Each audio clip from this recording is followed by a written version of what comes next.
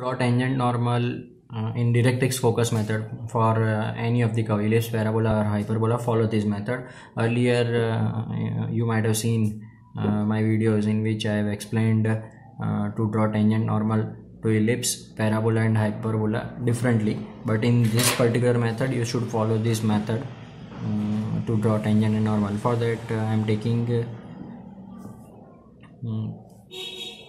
point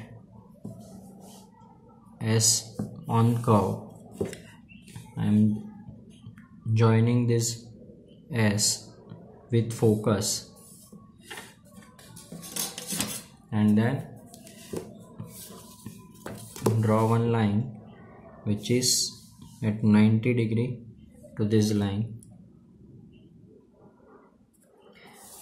Line which is perpendicular to this line okay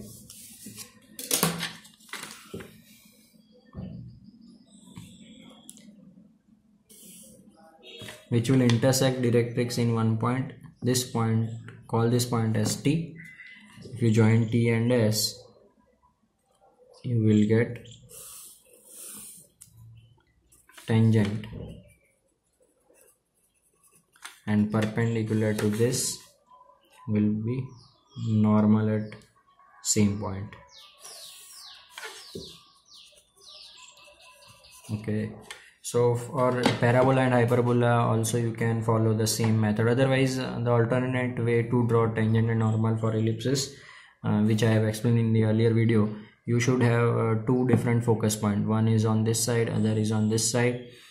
Join this uh, two focus with this and whatever may be the angle bisect it. It will give you the same line nor which is called as normal and then we'll get the tangent. Okay thank you